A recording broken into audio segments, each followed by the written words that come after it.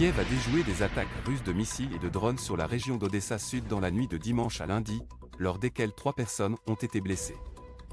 A affirmé l'armée ukrainienne. L'ennemi a attaqué la région d'Odessa trois fois pendant la nuit, recourant à deux vagues de drones d'attaque, un total de 15 drones, et 8 missiles, de type calibre. A déclaré le commandement opérationnel ukrainien pour le sud du pays sur Telegram, ajoutant que toutes les attaques avaient été déjouées par la défense aérienne.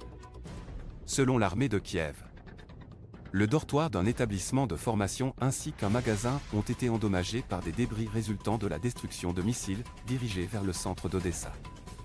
Trois employés du supermarché ont été blessés, selon de premières informations, et ont reçu une assistance médicale, a indiqué le commandement. Des fenêtres, des balcons de plusieurs bâtiments, ainsi que des voitures garées à proximité ont également été endommagées par l'onde de choc et deux incendies ont éclaté, a affirmé l'armée. Dans des photos et vidéos publiées sur Telegram par l'armée.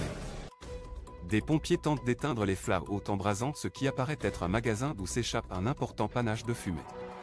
Le nombre d'attaques en mer Noire a augmenté de part et d'autre ces dernières semaines. L'armée russe a frappé à plusieurs reprises la ville portuaire d'Odessa mais aussi les ports fluviaux d'Izmaï et Reni, des attaques dénoncées par Kiev comme un moyen d'entraver ses exportations.